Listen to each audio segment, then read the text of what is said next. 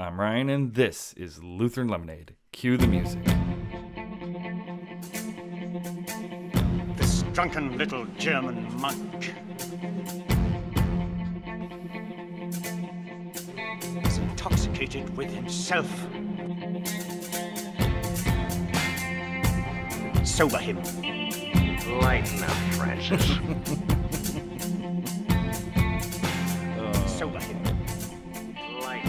I'm Ryan, and this is the Lutheran Lemonade Podcast, a weekly podcast where we sit down, we grab a cold brew, and we talk about theology. If you know me from YouTube at 1517 Films, and you know that this is brand new, and you're going to have to hop on over to soundcloud.com backslash Lutheran Lemonade. If you know me from SoundCloud, I encourage you to find me at YouTube at 1517 Films. Now, this is a weekly podcast, as I said, where we sit down, we grab a brew, and we talk about theology. Now, why on earth? Why on earth did I take the name Lutheran Lemonade? I could have just called it the 1517 podcast. Well, that's boring. And this is going to be a bit different from my traditional YouTube channel. This is going to be a bit more intimate, just sitting down. For those of you listening in on SoundCloud, just the sound of my voice and the knowledge that I have an ice cold beer on the table and I'm going to be taking a sip here or there and we're going to be talking about theology one on one. Now, in the Lutheran tradition, uh, good, solid theological conversation is often discussed at a table, hence the reason I'm at my kitchen table, not in my living room where I normally film my YouTube videos. Lutheran theology, according to our heritage and our history, is really, really rich and robust, and oftentimes spoken at the table over a beer. Now, that might bother some people, and that's okay. You see, the consumption of alcohol is a freedom that Christians have, but not one that they have to indulge. And certainly not one that they have to avoid. Now, I've chosen the catchphrase to gladden the heart of man to be the theme of this podcast, just as the theme of my YouTube videos is contending for the faith once for all delivered to the saints. The theme for the podcast is to make glad the heart of man. Now, that comes to us from Psalm 104, verse 15, where it is clearly stated that wine, fermented fruit of the vine, is a glorious gift of God, listed amongst all the other blessings that God bestows upon mankind, given for the sole purpose to make glad the heart of man. And when I was looking at that verse, when I was thinking about wine. And when I was thinking about especially the reading from this previous Sunday, the wedding at Cana, and Jesus turning water into wine, it struck me this is a phenomenal idea for a podcast, which is why this first episode is about the wedding at Cana. Now, I'm sorry, I just realized I'm not staring at my camera, which is going to be weird for the people who watch this on YouTube, but that's okay. Now, the wedding at Cana is is is such a, a, beautiful account of the first miracle of Christ, the first sign that Jesus is the Christ, the Son of the living God, the manifestation of his power, his divine power, but in human flesh, that he turned water into wine. Now, this is something that Jesus does regardless. Jesus turns water into wine when it falls from the sky when it lands in the vineyards and goes through to the soil, to the roots, to the vine, to the branch, to the grape. And the labor of man that we were designed for to work the garden that turns those grapes into wine. Now, Protestants who don't consume alcohol are going to be thrown. Oh, whoa, whoa, whoa, whoa, whoa, whoa. it meant grape juice.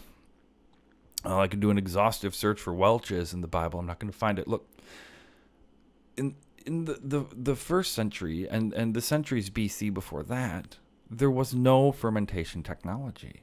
You pressed the grapes, you had grape juice, and very quickly it fermented. And this was actually a blessing to humanity in that the alcohol content of the wine made sterile the water that it was oftentimes mixed with. And so and they drank wine like we drink water. And I do want to start this off since we're going to be talking about wine, we're going to be talking about the wedding at Cana. I want to ask a couple of questions. When the disciples were in the upper room on the day of Pentecost at nine o'clock in the morning, and the Holy Spirit descended, and tongues of fire appeared upon their head, and they started speaking in foreign languages. And the people said, They're drunk. My question to the Protestants is how much grape juice would they have to consume, physically consume, before they could become intoxicated? If it were indeed grape juice, or, or the Christians in the city of Corinth who Paul scolded for abusing the sacrament of the altar and telling them, You're getting drunk. And then it's not the Lord's Supper. How much, how much grape juice were they consuming to get drunk during the Lord's Supper in Corinth, or, or in the Garden of Gethsemane when the disciples fell asleep after the five cups of grape juice during the Passover? And why, getting back to the wedding at Cana, why was it referred to as good wine? What is there cheap grape juice? Oh, oh, oh, normally, normally they serve you know, the Welch's first. And when everyone has had their fill of the Welch's, then they bring out the Aldi's brand, the great value brand. But you have saved the Welch's for last.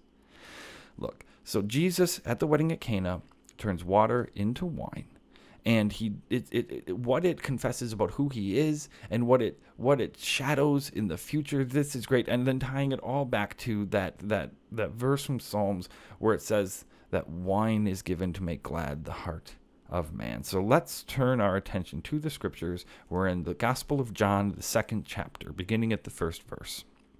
On the third day, there was a wedding at Cana in Galilee, and the mother of Jesus was there. Jesus also was invited to the wedding with his disciples. When the wine ran out, the mother of Jesus said to him, They have no wine. And Jesus said to her, Woman, what does this have to do with me? My hour has not yet come. His mother said to the servants, Do whatever he tells you. Now there were six stone water jars there for the Jewish rite of purification, each holding twenty or thirty gallons. Jesus said to the servants, Fill the jars with water. And they filled them up to the brim. And he said to them, Draw some out and take it to the master of the feast. So they took it. When the master of the feast tasted the water now become wine and did not know where it came from, though the servants who had drawn the water knew. The master of the feast called the bridegroom and said to him, Everyone serves the good wine first. When people have drunk freely, then the poor wine. But you have kept the good wine until now. This, the first of his signs Jesus did at Cana in Galilee, and manifested his glory, and his disciples believed in him. That was ending at verse 11. Now, there's so much, so much going on here. Uh, and I think we should read, especially from John's gospel, the whole of Scripture, but from John's gospel especially, into the context of what he would say later in his gospel. These things are written that you may believe that Jesus is the Christ, the Son of God. This account of Jesus turning water into wine is written that we may believe that he is the Christ, the Son of the living God. Now, earlier I'd said that Jesus turns water into wine all the time. All the time when it rains on the field and the roots soak up that water from the soil and the vine takes it and grows grapes. And then man, doing what he was designed to do to work the field, turns it into wine. Jesus just skipped all those steps, didn't he? He just turned it into wine, and there was no hocus pocus. Ooh, there was just fill these jars with water, bring it to the master of the wedding. And now, on Pastor Will Weedon's um, regular daily podcast that I encourage you to listen to, The Word of the Lord Endures or the word endures. Uh, definitely check that out. He points out from these verses, and I think it's brilliant, and I share it with you again. It was the lowliest of the low that witnessed the miracle. It was the servants who filled the jars with water at Jesus' command. And it was the servants who brought the water to the master. The master, the head of the party, didn't know. He just knew he was drinking the best wine he had ever drank in his entire life. God Jesus shows his glory, manifests his glory to the lowly. Now we can think back to his birth when it was shepherds hiding in the caves at night, keeping watch over their flocks, sheep probably in Bethlehem for the slaughter. These lowest of the low that first heard that gospel message from the angel, that witnessed the glory of the heavens being torn asunder and the angel singing glory to God in the highest. It was to the lowest of the low that the beauty of God's miracle was revealed.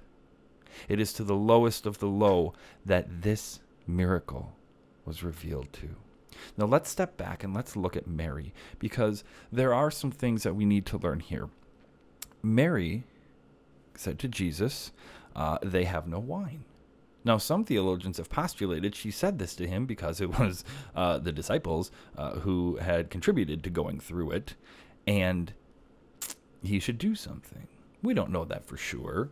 Jesus said to her, Woman, what does this have to do with me? Or, uh, more rightly from the Greek, what does this have to do with you and me? My hour has not yet come. Now, John would later in his gospel talk about that hour being the hour that Jesus is lifted up, where he's suspended on the cross between heaven and earth. His hour had not yet come. Mary, in perfect, perfect faith, turns to the servants and say, "Do whatever he tells you." And if you're paying attention, you will realize, so this isn't the last time we see Mary in the gospel. It's the last thing we hear from her. So, a powerful, powerful message to my Roman Catholic friends. The last documented thing that we have that Mary said in this gospel is do whatever he says. What a powerful, powerful message from the Mother of God, the great Theotokos, the God bearer, the Mother of God. The Blessed Virgin Mary, oh, in perfect faith. Jesus said, Hey, this has nothing to do with you or me. My time has not yet come. And Mary just leaves it there. She said her piece, she laid it at the feet of Christ, and she trusted that he would do with it with her petition what he would, that we should, with all boldness and confidence, bring our requests to God, as it would later say in one of the epistles. And that's what she does. Now, these water jars, these these water jars, they're for Jewish purification, each holding 20 or 30 gallons. How many did it say there were? Six. Six of them. Filled with water to the brim. It's a lot of wine. Now, uh, weddings in the first century went for a long time, and so it's not a grotesque amount when you think about how long the wedding celebration was going on, or you think about the number of people that might have been invited. And Jesus certainly isn't encouraging drunkenness, but he turned the water into wine, oinos in the Greek. And what I remember from my studies of Greek back in my days at Concordia, oinos literally only means wine. It means fermented fruit of the vine. There was an alcohol content to it. Now remember that wine from the psalm, the namesake of this podcast, wine was given to make glad the heart of man. Jesus created water into wine, turned water into wine, miraculously, quietly, humbly, but with all authority over heaven and earth. He turned it into wine and gave it to make glad the hearts of those at the wedding feast. Now let's mass, let's pass forward in time here that wedding feast, the wedding at Cana, or that great marriage feast of the Lamb in His kingdom. The foreshadowing of which, as we confess every Sunday in the divine service, the Mass, the Lord's Supper, the Eucharist, the foreshadowing of that great feast or the foretaste of the feast to come. That wine that Jesus gave at Passover.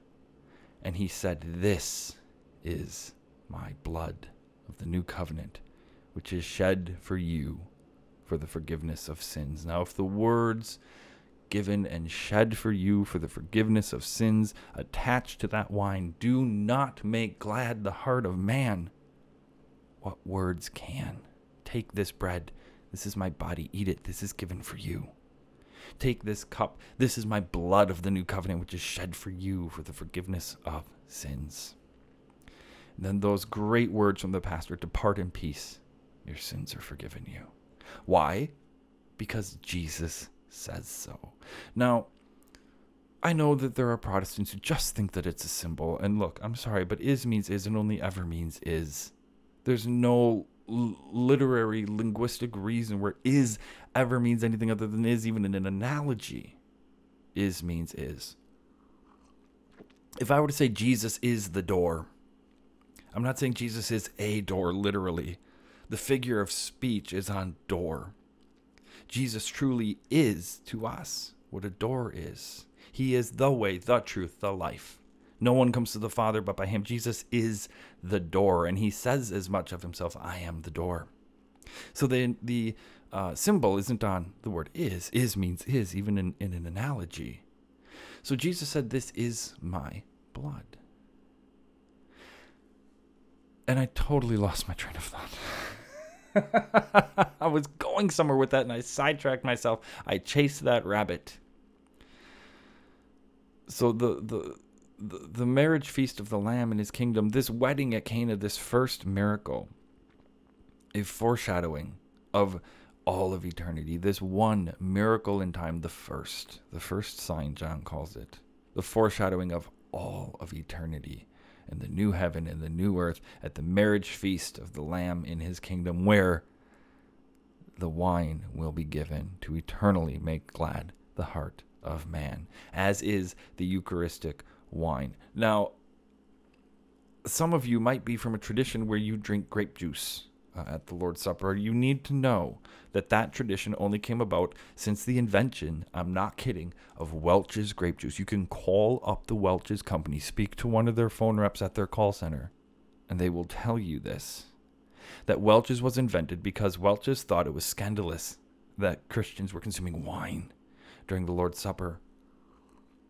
But if Welch's had only read that wine was given to make glad the hearts of men, and he looked at that truth of God's word and compared it with all of the times the word says not to get drunk, he could come to a very holistic conclusion.